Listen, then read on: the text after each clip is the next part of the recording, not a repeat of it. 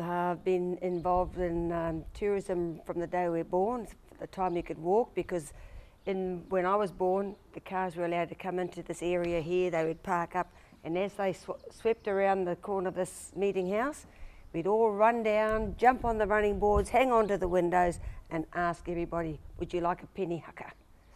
so been doing that most of our lives. All the kids here did it and enjoyed it.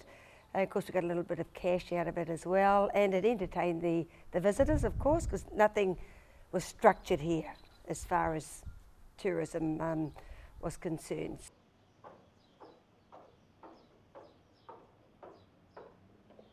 What people really want is a way of life. They want to be able to know what is, what is it like stepping into a Māori worldview.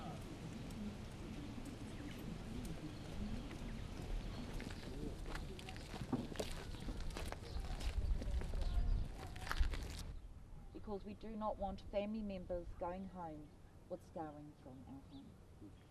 Now my family, just to give you a bit of an indication as to how thin it is, and the only thing that's changed of course is the method we cook in. So what we have over here folks is what our children love to call the Māori microwave. How it's done. So hard. Taste that smell.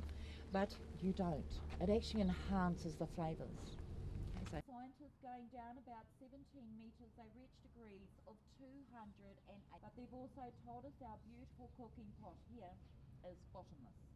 This is one of our bathing areas.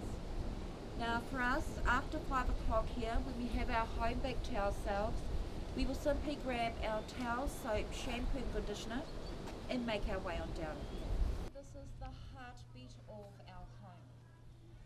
Came a guy of this area in the early 1900s or 1920 something and they only had one child.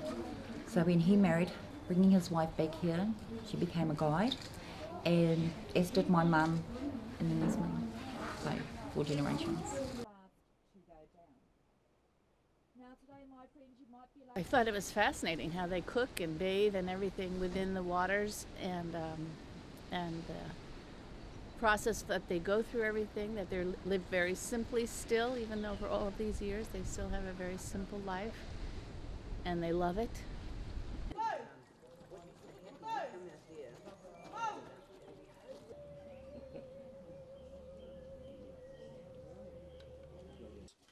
And if they hold water and you put them on top of a fire, they'll simply explode. So we use some special volcanic rocks that we get out of. Got those rocks nice and hot, that we get them into the pit as quickly as possible.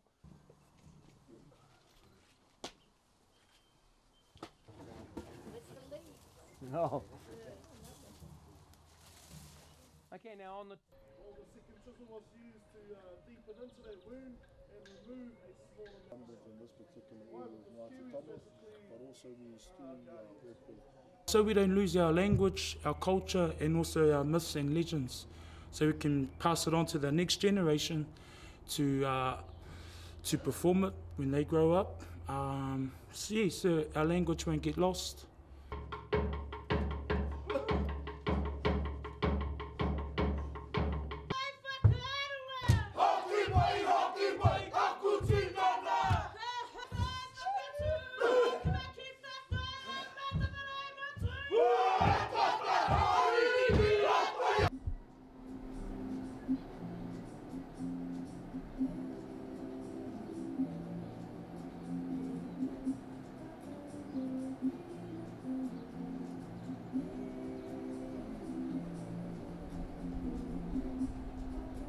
If I go to a country, you know, I love to experience the, um, you know, the native culture, and what better than through a massage. Um, this is a group of my ancestors. They're all from the Arawa tribe of Rotorua. This is my grandmother, Rawinia, taken in 1901 or 1903. It can um, get people back into balance and give you a lot more energy and clarity, and there's a multitude of benefits you know that you'd get in a normal therapeutic massage. That's the miri miri massage that we do, but then the romi romi is the deeper kind on a physical level, it would be more like um, traditional Thai massage, I guess.